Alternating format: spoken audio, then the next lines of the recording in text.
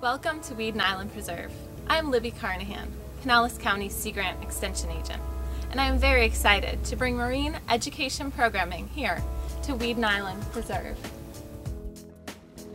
Weedon Island Preserve, located in St. Petersburg on the shores of Tampa Bay, is home to 3,700 acres of underwater seagrass beds, mangrove islands, and upland plant communities. Residents and visitors of Pinellas County have long enjoyed the marine recreational opportunities at Weedon Island Preserve, such as flats fishing, hiking the boardwalks, canoeing and kayaking, and more recently, stand-up paddleboarding. Pinellas County Sea Grant has developed two marine education series designed to connect the community with marine science education and research. The ongoing Going Coastal Marine Science Education Series introduces the community to habitats, organisms, and the ecology of Tampa Bay and the Gulf of Mexico. Hands-on activities include fish printing, collecting and identifying marine critters, and laboratory activities and experiments.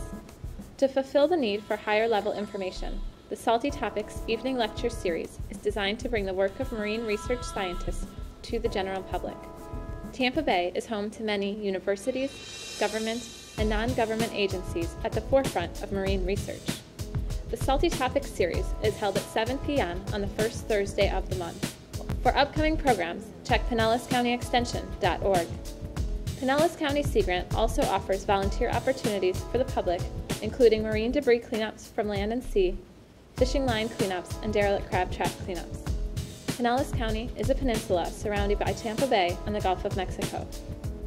As the most densely populated county in Florida, Pinellas County will benefit from a citizenship that is well versed in the importance and sensitivity of marine resources. It is our hope that by providing marine education programs, the community will have a deeper appreciation for their environment after learning through hands-on experiences. In turn, citizens can practice safe boating, avoid littering, practice responsible fishing practices, and volunteer with environmental groups. If we take care of our environment, it will, in turn, sustain us.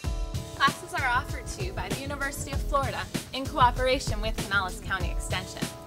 To register for the Going Coastal and Salty Topics series, as well as other extension programming, go online to pinellascountyextension.org.